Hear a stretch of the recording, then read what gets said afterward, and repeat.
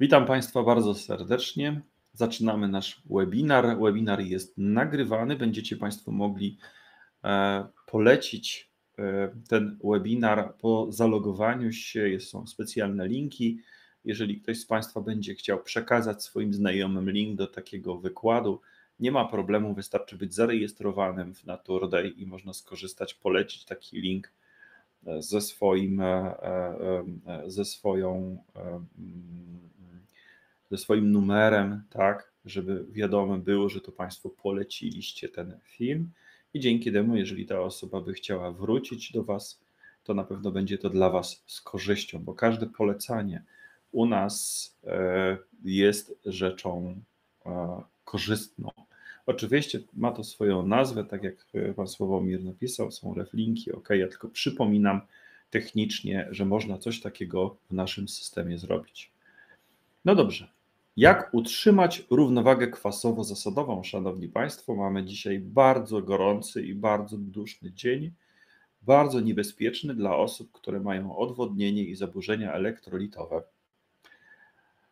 Kilka słów na mój temat. Nazywam się Janusz Wietecha, jestem lekarzem, dietetykiem klinicznym i e, fitoterapeutą dyplomowanym. W swojej pracy łączę te trzy techniki: medycyna klasyczna, czyli moje to najważniejsze, podstawowe wykształcenie jest wspaniałym fundamentem do tego, żeby mógł Państwa leczyć. Jednocześnie jako narzędzie pracy używam również diety i ziół, ekstraktów roślin leczniczych, które w odpowiedni sposób przygotowane będą nam pomagały.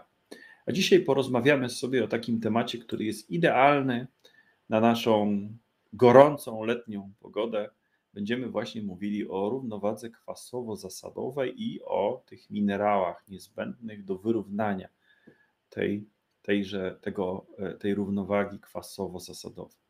Zaczniemy troszeczkę od tego, co my sobie będziemy mierzyć w tym naszym organizmie. Najprostsze do zmierzenia byłoby zmierzenie pH, czyli tej, tego wskaźnika e, mocy zasad i kwasów, który obejmuje tak zwaną skalę pH, potencja hydrogenii, czyli potencjał wodorowy, stąd się wzięło pH.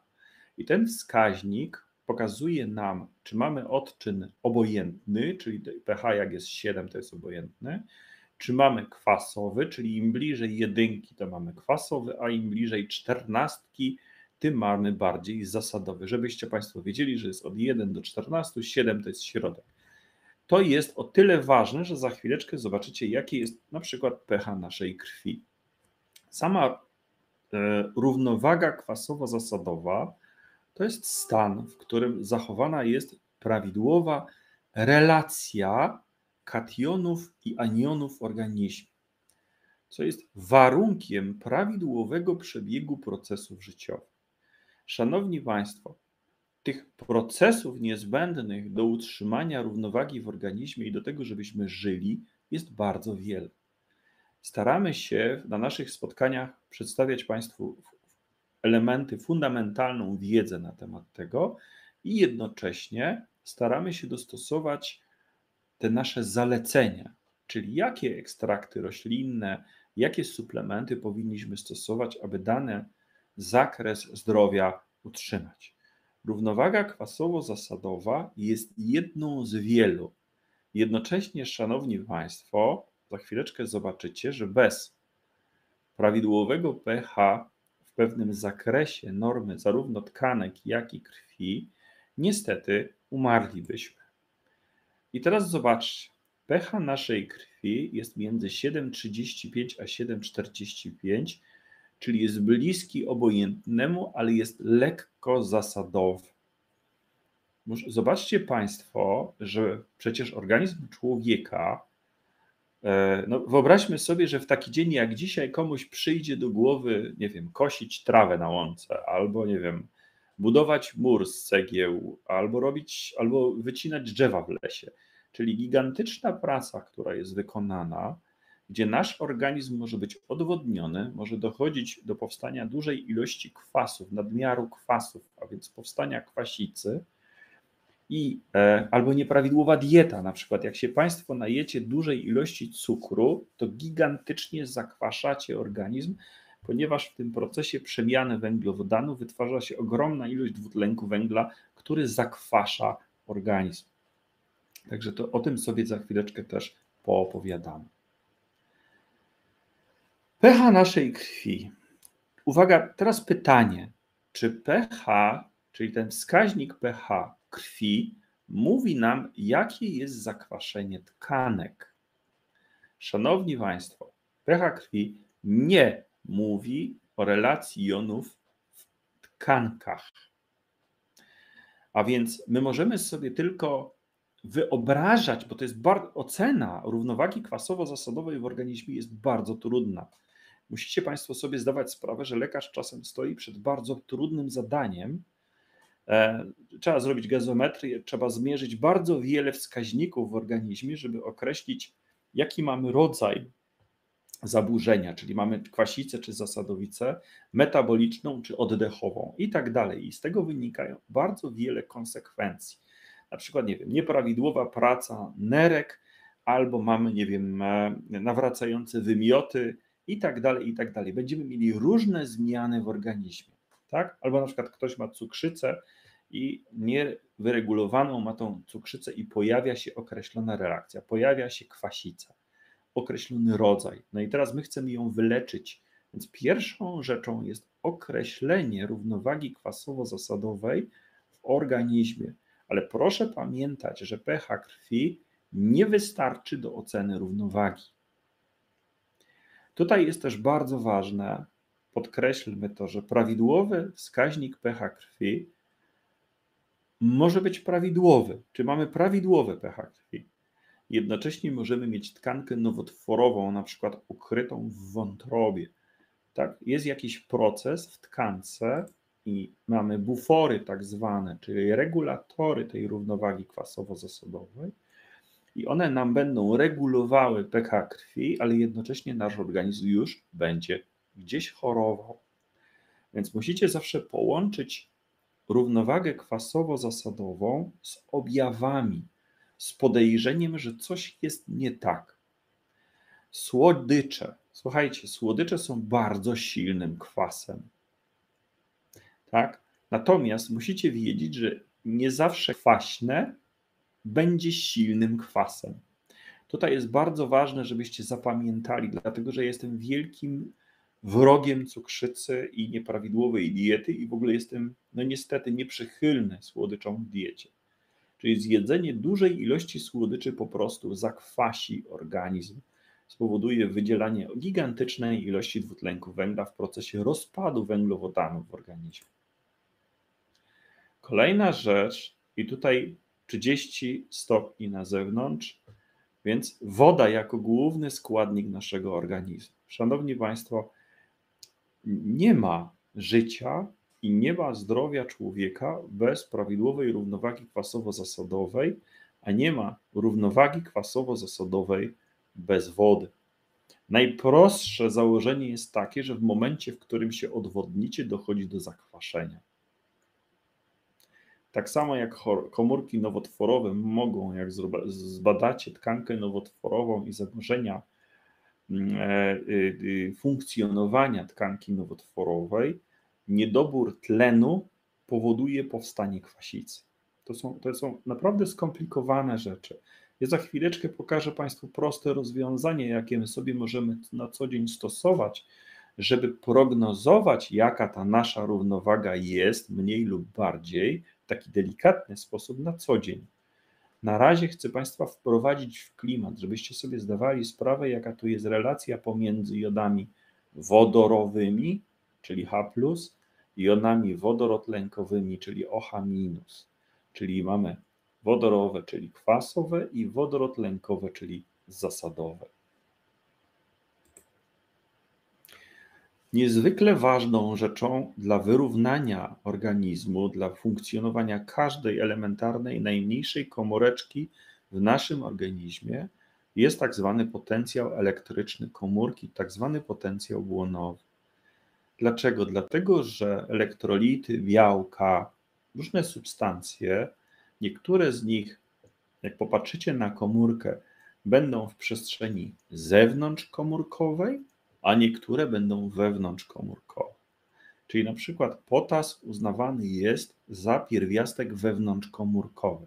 On jest też w krwi, tak jak sód, ale jak e, mm, na przykład ktoś ma chore serce, zmierzymy poziom potasu, to tak oczywiście w dużym uproszczeniu, Szanowni Państwo, jeżeli mamy problemy z sercem i jeżeli mamy problemy z potasem, to bardzo często podaje się potas z insuliną łącznie i z glukozą, pomimo tego gdzieś tam omówiłem o odkwaszaniu, ale po co? Jak podacie potas, glukozę i insulinę jednocześnie, to wciskamy potas do komórki, tak potocznie się mówi. Tak? Czyli to jest taka sztuczka lekarska, która, jak ktoś podejrzewa, że mamy niedobór potasu w komórkach i z tego powodu mamy jakieś zaburzenia elektrolitowe, łącznie z tym, że mamy na przykład arytmię, to my w ten sposób wciskamy ten potas do komórki. Czyli mamy przestrzeń zewnątrzkomórkową i wewnątrzkomórkową i rozdzielającą je przestrzeń, tak zwaną błonę komórkową, i tam są różne w tej błonie kanały. I one często aktywnie, aktyw, nawet bardzo aktywnie z, z pomocą różnych enzymów i tak dalej, kofaktorów, będą albo usuwały sód na zewnątrz, albo wciskały potas do wnętrza, żeby stworzyć prawidłowy potencjał elektryczny.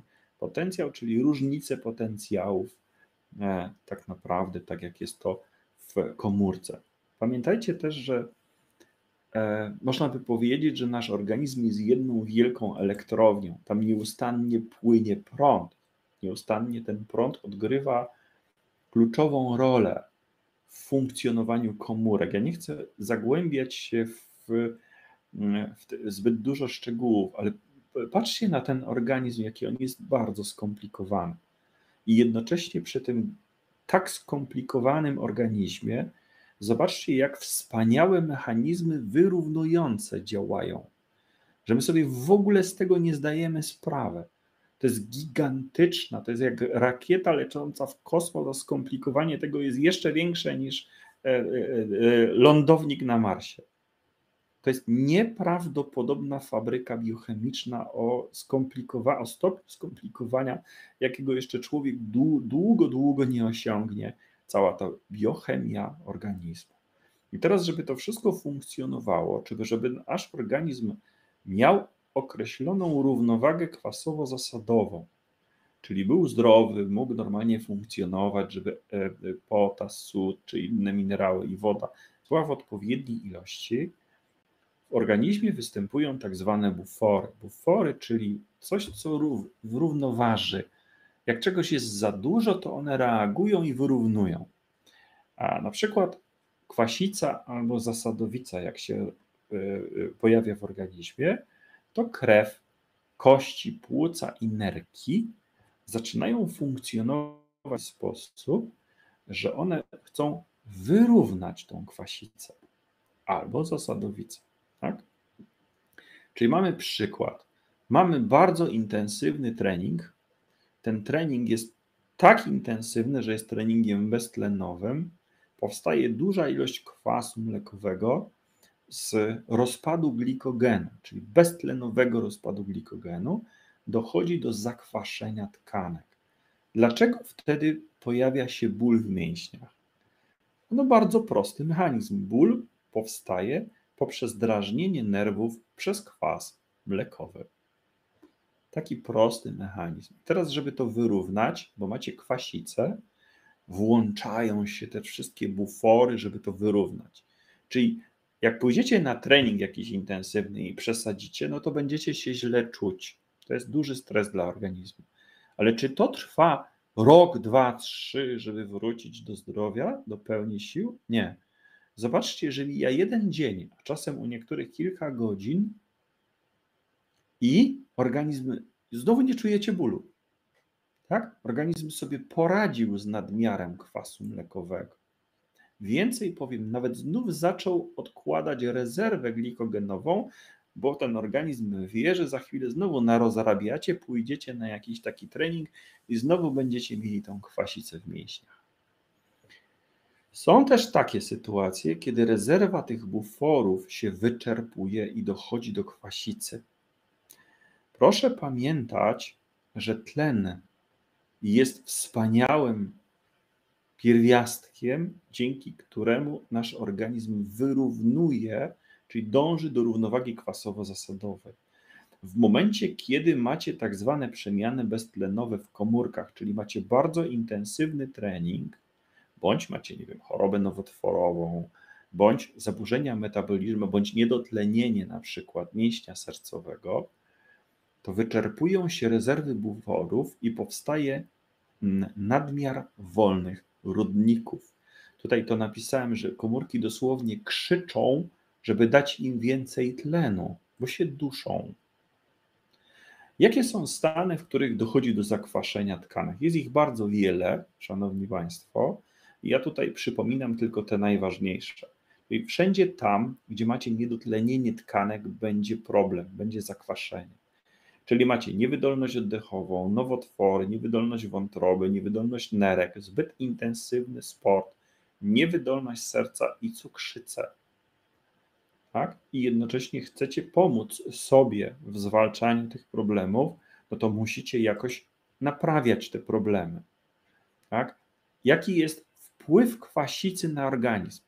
Zobaczcie, szanowni Państwo, w jak wielu przypadkach dochodzi do problemów zdrowotnych związanych z kwasicą. Czyli dochodzi do rozpadu białek przy kwasicy. Dochodzi do powstania osteoporozy, dosłownie niszczenia, odwapnienia kości. Dlaczego? Dlatego, że kości są buforem. Jeżeli macie kwasicę, to kości chcąc wyrównać tą kwasicę, będą chciały ją wyrównać i zaczną uwalniać wapnie. To jest niestety sytuacja bardzo częsta. Czyli kwasica może powodować niszczenie kości osteoporozy. Mamy wydzielanie różnych hormonów, czyli wzrost wydzielania kortyzolu, aldosteronu. Spadek sekrecji hormonów tarczycy, wolnej tyroksyny, tyroniny. Wzrost wydalania z moczem fosforanów, magnezu i wapnia. No bo jak macie kwasicę, one się wydzielają, zaczyna ten nadmiar być wydalany, no i tracicie cenne pierwiastki. To jeszcze nic. Jak macie kwasicę, to krew nie potrafi przenosić tlenu. To jest bardzo skomplikowany wykres, gdzie e, na studiach uczy się studentów, czy kwas, czy zasada pomaga nam w przenoszeniu tlenu. I hemoglobina, czyli ten barwnik krwi, nie potrafi, ma, ma utrudnione wiązanie tlenu, czyli nie potrafi wziąć tlenu z płuc i przenieść do organizmu, do tkanek. Jest oczywiście ułatwione, czyli to jest też koniec tego procesu. To jest ciekawostka, czyli hemoglobina trudniej się łączy z tlenem, ale łatwo oddaje tlen. No dobrze, ale jeżeli hemoglobina nie połączy się z tlenem w płucach, to co ma oddawać? Macie niedobór tlenu w tkankach.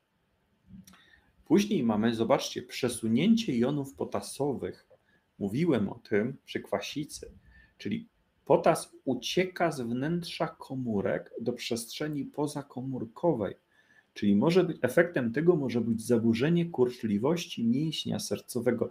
My się tego najbardziej boimy zaburzenia rytmu serca, a nawet zatrzymanie krążenia, bo numer polega na tym, słuchajcie, że mamy za mało potasu w środku w komórce, a bardzo dużo potasu we krwi, czyli hyperpotasemię. Oczywiście nie możecie Państwo tego zapamiętać. Ja chcę, chcę Was wciągnąć w taką sytuację zdrowotną, żebyście się jej troszkę przestraszyli żebyście rozumieli, że kwasica jest jak i skrajna zasadowica, bardzo niebezpieczna. Później mamy stany zapalne, RZS, choroba zwyrodnieniowa, również kwasica, zaburzenia metaboliczne, miażdżyce, zespół przewlekłego zmęczenia i spadek odporności. Są zalecenia zdrowotne, Szanowni Państwo, i te zalecenia zdrowotne, i myślę, że część z Państwa o tym słyszała, mówią, żeby jeść dietę alkalizującą. I to jest bardzo ciekawa rzecz. American Cancer Society rekomenduje warzywa jako niezbędny element diety przeciwnowotworowej. Nie chodzi tylko i wyłącznie o odkwaszanie, Szanowni Państwo. To nie jest tylko ten aspekt. Tu mamy gigantyczną rolę błonnika w powrocie do zdrowia, mamy odpowiednią ilość minerałów zasadotwórczych, czyli wapń i magnez, czyli możecie Państwo sobie wyobrazić, że jeżeli wykorzystacie dietę zasadową, to można by powiedzieć, że leczycie osteoporozę. Leczycie osteoporozę, bo jak stworzycie zasadowicę w organizmie i dostarczycie wapń i magnez, to kości zaczną wchłaniać ten wapń, będą silniejsze. Nie wspominam już o tym, co jest niezwykle ważne. Mamy oficjalną rekomendację tak, Amerykańskiego Towarzystwa Walki z Nowotworami, rekomendację prewencyjnego, a więc profilaktycznego zjadania dużej ilości warzyw. Co możemy też zrobić na co dzień, Szanowni Państwo, żeby się trochę zorientować, co w naszym organizmie się dzieje? Mamy monitoring pH, wskaźnika pH moczu. To jest najprostszy sposób. No, nikt nie będzie się nakłuwał, a już naprawdę zrobienie dokładnego badania równowagi kwasowo-zasadowej, no, tego się tak w domu nie zrobi. Tak, to trzeba zrobić w szpitalu. Więc monitorowanie wskaźnika pH moczu jest niezwykle cennym i bardzo prostym sposobem sprawdzania nadmiaru zasad bądź kwasów organizmie, czy prognozowania, co się dzieje z naszymi tkankami. Robi się to za pomocą tak, e, paska lakmusowego. Teraz, e, jeżeli chodzi o wodę, to prosta podpowiedź, Szanowni Państwo, jeżeli nie wiecie, ile pić wody, to taka średnia, oczywiście jest tak gorąco, jak jest w tej chwili za oknem, to zawsze musimy więcej tej wody wypijać, natomiast to jest około 30 ml na kilogram masy ciała. Mniej więcej tyle człowiek potrzebuje, żeby utrzymać tą równowagę. Ten wpływ diety na organizm, proszę zawsze o tym pamiętać, jest bardzo ważny. Czyli jeżeli będziecie stosować odpowiednią dietę i użyjecie paska e, papierka lakmusowego, to możecie sobie zobaczyć, czy macie nadmiar kwasów, czy nadmiar zasad. Jeżeli użyjecie odpowiednich pierwiastków, czyli wapnia, potasu, magnezu i sodu, to możecie stworzyć sobie delikatną zasadowicę, która będzie pomagała Wam w bardzo wielu sytuacjach, dlatego że organizm najczęściej ma tendencję do zakwaszenia. No dobrze, czyli reasumując, dieta z nadmiarem warzyw, ekologicznych najlepiej i suplementy z minerałami zasadotwórczymi będą kapitalnym sposobem e, wyrównywania różnych niedoborów w organizmie. W jaki sposób się do tego zabieramy? Możemy zastosować sobie gotowe mieszanki różnych minerałów, tak, i później pokażę Państwu jeszcze chlorofil i tak dalej, i tak dalej, aloes, gdzie będziemy starali się stosować prostą regułę suplementacyjną, czyli będziemy dostarczali do organizmu nadmiar zasad. A papierkiem lakmusowym będziemy mogli sobie zbadać, czy ten nadmiar zasad pokazuje nam, czy nasz mocz jest kwaśny czy zasadowy. Ten nadmiar zasad y, można bardzo fajnie w ten sposób dość prosto monitorować, ile my tych tego nadmiaru zasad dostarczamy. Pierwsza taka mieszanka to jest pH support, jak mówiłem, zasadotwórcze, magnez, wapni i potas. Nie ma tu sodu specjalnie, szanowni państwo, ponieważ sód można sobie w prosty sposób dostarczać z wodą. Możecie państwo po prostu sól kuchenną, tak, łyżeczkę na litr wody wsypać, zrobić sobie taki izotonik, czyli płyn na taki dzień jak dzisiaj, żeby dostarczyć sód. W tym preparacie specjalnie nie ma sodu, ponieważ zdarza się, że niektóre osoby mają problemy z nadciśnieniem i nie chcielibyśmy, żeby poprzez stosowanie takiej suplementacji mieli jakieś problemy, szczególnie jeżeli mamy tutaj problem z nerkami. Czyli ten zestaw odkwaszający pH Support ma za zadanie zmniejszenie kwasowości tkanek w organizmie. organizmie. Tak? Lekarze bardzo często negują coś takiego jak to, to zakwaszenie organizmu. No ale prawda jest taka, że jak Państwo traficie do szpitala i zobaczycie, że bardzo często robi się gazometrię pacjentom, no to czym jest kwasica w cukrzycy? Jest zakwaszeniem, czy nie jest zakwaszeniem? Tak? To jest taka, wiecie, to jest taka dyskusja akademicka, tak? Oczywiście, że jest zakwaszeniem tkanek. I to gigantycznym, czasem nawet zagrażającym zdrowiu i życiu ludzkiemu. Więc nie można mówić, że nie ma zakwaszenia tkanek w różnych dolegliwościach. Jak jest to przez lekarzy badane i stanowi wymierny czynnik nie tylko, że diagnostyczny, ale też prognostyczny i pokazuje też, czy pacjent jest prawidłowo leczony. Czyli tutaj mamy magnez, wapń, potas i chrom dodatkowo. Dlaczego? Dlatego, że pH support, zachęcam Państwa, powinien być też używany przez osoby, które na przykład wchodzą w dietę redukcyjną, czyli odchudzają się. No i tutaj mamy też ekstrakt z czerwonego buraka i lucerny. To jest fantastyczne uzupełnienie tych minerałów, po to, żebyśmy mieli ten efekt też odchudzający. Czyli mówimy nie tylko o, tym, że mamy, nie wiem, e, wspomagać osoby, które mają jakieś problemy zdrowotne, ale również myślimy o tym, jak jest lato, na przykład, mamy odwodnienie jakieś, ktoś boi się, że na przykład się odchudza, coś sobie narozrabia w trakcie tego odchudzania, to możemy odpowiednio nawodnić ten organizm i podać taką mieszankę minerałów. Czyli pH support to jest właśnie te pierwiastki wapń, potas, magnez i chrom.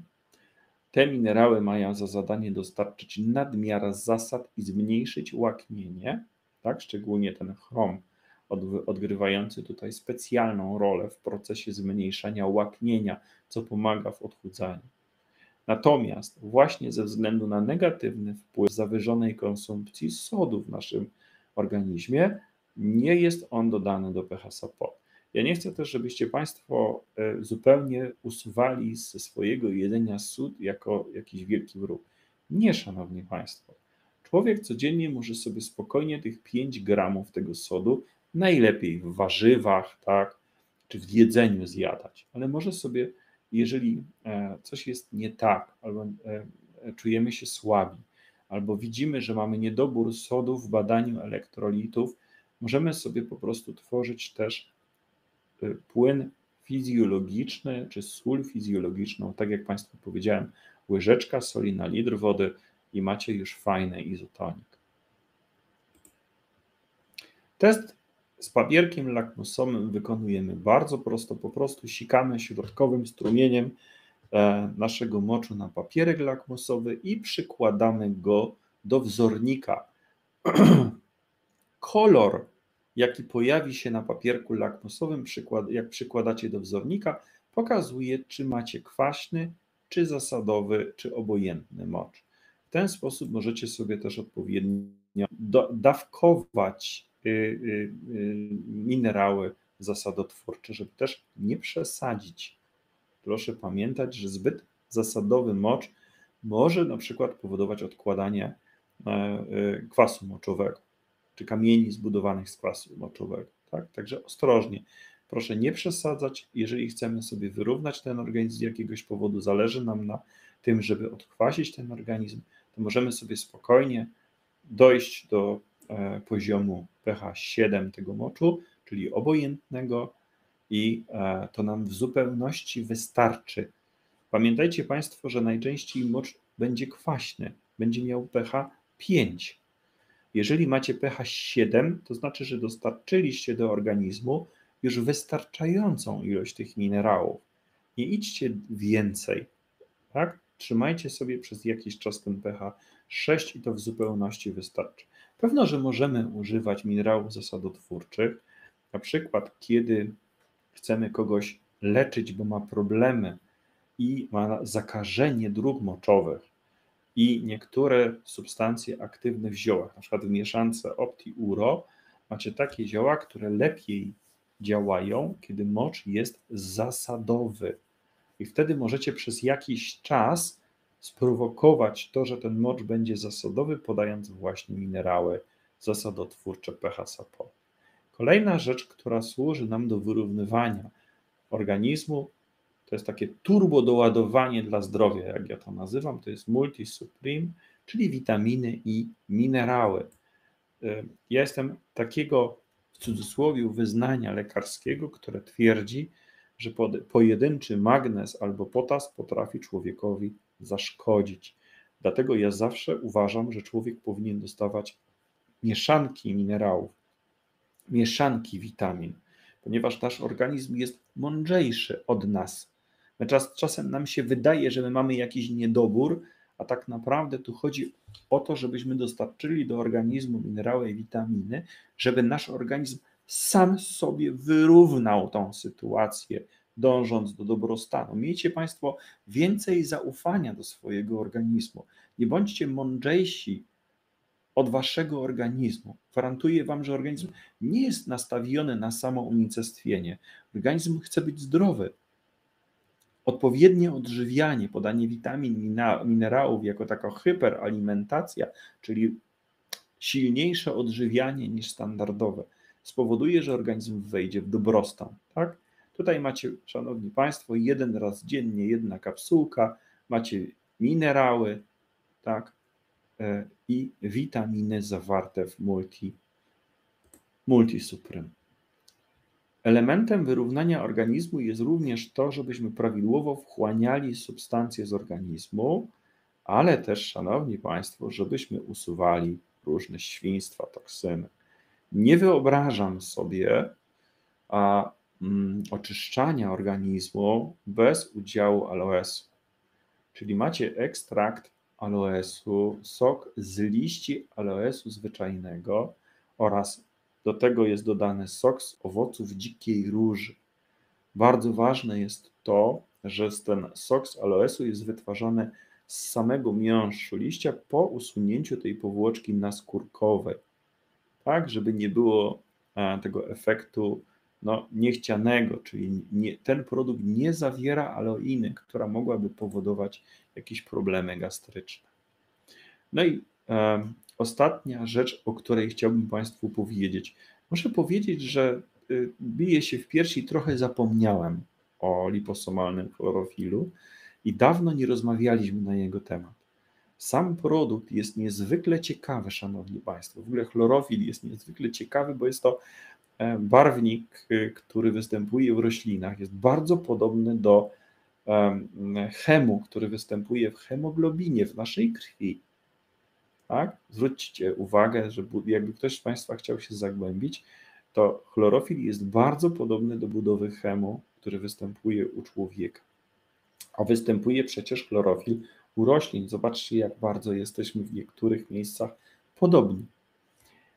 Chlorofil e, to jest ciekawa rzecz, bo on ma bardzo wielokierunkowe działanie. Po pierwsze, przyspiesza metabolizm, a więc jest uważany jako element wspierający odchudzanie. Później macie, ponieważ e, chlorofil zawiera e, pewną e, strukturę, która może być przez organizm wykorzystywana do budowy hemoglobiny, nie jest to wcale żelazo, do prawidłowego poziomu hemoglobiny, a więc wspomaga utrzymanie prawidłowego poziomu hemoglobiny. Wspomaga równowagę hormonalną i aktywność tarczycy. Pomaga również utrzymywać funkcje poznawcze, a więc prawidłowe funkcje mózgu. Zobaczcie, jak wielokierunkowo. Co jest też ciekawe, zachowuje, wspomaga zdrową, nawilżoną skórę, czyli zobaczcie, z jednej strony hemoglobina, metabolizm, tarczyca, mózg, funkcje poznawcze i do tego jeszcze, słuchajcie, poprawa jakości skóry i nawet odporności. W różnych badaniach podaje się. Czyli zobaczcie, jaki fajny produkt, który służy nie tylko do tego, żeby wzmocnić nasz organizm, ale myślę, że Państwo wiecie, chlorofil jest uznawany za jedną z substancji o niezwykle silnych właściwościach helatujących metale ciężkie. Jeżeli teraz zwrócicie uwagę na budowę tego chlorofilu, e, jak go skomponowaliśmy, to poza chlorofilem jest zielony owies, jest lucerna jest morszczyn ekstrakt, który zawiera jody. A więc zwróćcie uwagę, że to jest gigantyczna dawka aktywnego jodu, czyli 100% zapotrzebowania dziennego w 5 gramach takiej mieszanki. E, tutaj jest to bezcenne. Poza tym, y, wiecie, sam chlorofil, o którym przed chwileczką powiedzieliśmy, to jest ciekawa cząsteczka. Dlaczego? Dlatego, że chlorofil absorbuje światło, e, pewną, pewien kolor światła, czyli to się mówi, że określony zakres widma światła. I zwróćcie uwagę, że jest bardzo podobny do chemu, ale zawiera magnez. Czyli jak chcecie naturalnie suplementować u siebie magnez, to lepszym rozwiązaniem jest zjadanie chlorofilu niż wcinanie chemicznego magnezu. To jest fajna podpowiedź. Jak ktoś szuka naturalnych źródeł zdrowia, to chlorofil jest świetnym donorem magnezu.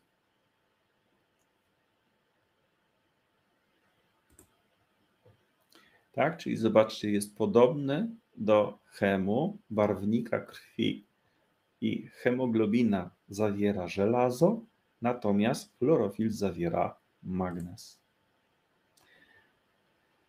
Jakie są zatem korzyści, jeszcze raz, kiedy będzie, warto będzie stosować y, ten chlorofil? Po pierwsze, wspomniałem o tym, że helatuje metale ciężkie, podobnie jak węgiel medyczny. To jest też ważne, Szanowni Państwo, nie wiem czy wiecie, że w różnych zatruciach możemy stosować węgiel medyczny, aktywny, w dużych dawkach. I jednocześnie mamy w takim, e, takiej profilaktyce i jednocześnie w usuwaniu, tym oczyszczaniu organizmu naturalną substancję taką jak chlorofil. Czyli on ułatwia wydalanie szkodliwych związków chemicznych, i tu, szanowni państwo, były badania na ten temat, na przykład z dymu papierosowego. I jakie są tego konsekwencje? One są bardzo ważne. Jeżeli się eliminuje takie toksyny z organizmu, to eliminuje się też część uszkodzeń kodu genetycznego człowieka, a jak się usuwa te uszkodzenia, czy zapobiega uszkodzeniom kodu genetycznego, to się zapobiega w dużej części różnym chorobom nowotworowym. Bardzo ciekawą rzeczą w badaniach nad chlorofilem było to, że proszę sobie wyobrazić, chlorofil stymuluje produk produkcję hormonów kobiecych. To jest też o tyle ciekawe, szczególnie u kobiet w, w okresie menopauzalnym i postmenopauzalnym, jak Państwo może wiecie, estrogen jest takim hormonem kobiecego piękna. On odpowiada za całą tą, może nie za całą, urok kobiecości też jest wielowarstwowy, ale bardzo wiele fizycznych cech urody kobiecej oparte jest na estrogenach. I tutaj chlorofil, to jest ciekawe, stymuluje zwiększoną produkcję hormonów kobiecych. Działa też zatem, a szczególnie u kobiet, przeciwstarzeniowo, czyli odmładzająco. Tak? Poprawia odporność organizmu na warunki środowiskowe i pomaga też zwalczać wolne rodniki, czyli macie tutaj walkę e, z wolnymi rodnikami osób z miażdżycą i nadciśnieniem. No i oczywiście wspomaga odchudzanie, to co powiedziałem. Szanowni Państwo, zagadnienie równowagi kwasowo-zasadowej, które dzisiaj tak pobieżnie ogarnęliśmy, jest niezwykle ciekawym zjawiskiem, jedną z wielu biochemicznych reakcji organizmu.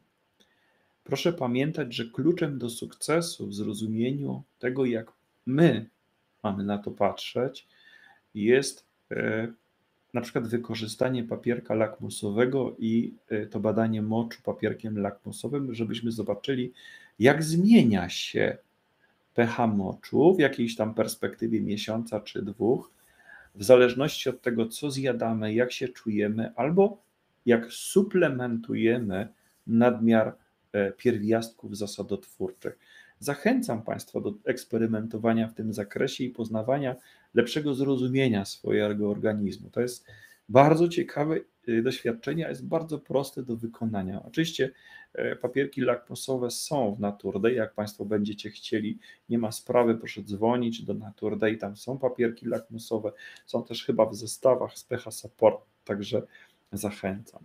Zagadnienie, które muszę Państwu powiedzieć, e, e, pan profesor Kokot, czy mistrz, mistrz równowagi kwasowo-zasadowej wśród lekarzy, no nie tylko w Polsce, to był człowiek niezwykły, człowiek, który podłożył fundament pod całą analizę równowagi kwasowo-zasadowej i edukację na ten temat w Polsce lekarzy. Zagadnienie bardzo trudne, wielowątkowe i jednocześnie chcę, żebyście Państwo pamiętali, nie wolno przesadzić w żadną stronę, ani w kierunku silnego kwasu, ani również, żebyście nie szli w kierunku silnej zasadowicy, bo ona również może być niebezpieczna. Dlatego utrzymywanie delikatnej zasadowicy, delikatnej zasadowicy, czyli pH moczu obojętny, już będziecie mieli dowód na to, że ten nadmiar zasad jest wydalany. Dlaczego? Dlatego, że najczęściej ten mocz po prostu jest kwaśny, a przy odpowiedniej diecie wyrównujemy ją do tej obojętności i to już jest dowód na to, że podaliśmy nadmiar zasad. I tak przez jakiś czas sobie ten organizm trzymamy. Y, świetnym elementem y, wyrównywania kwasicy jest podawanie odpowiednich suplementów i diety u sportowców albo u osób, które się odchudzają. Także zachęcam Państwa, mówimy tutaj nie tylko o tym, że możemy pomagać czy wspomagać leczenie różnych problemów, ale również, e, jeżeli ktoś chce zwiększyć swoją wydolność organizmu, odpowiednie nawodnienie i podawanie suplementów pomaga w rekonwalescencji i po osiąganiu lepszych wyników sportowych.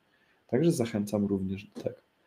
Pięknie Państwu dziękuję za uwagę. Jeżeli Państwo macie jakieś pytania, przypominam, że jest taki adres mailowy pytania małpanaturday.pl. Tam możecie Państwo zadawać pytania. Najczęściej około raz w tygodniu staramy się odpowiadać na te pytania Państwa. Jeżeli coś Państwa szczególnie nurtuje, czy interesuje. No i oczywiście ktoś z Państwa chciałby się ze mną spotkać na konsultacji dotyczącej właśnie suplementacji ziół. Zapraszam do Kalet, do Natur Day w środę, tam jestem do Państwa dyspozycji. Życzę wszystkim Państwa miłego wieczoru, do usłyszenia i do zobaczenia.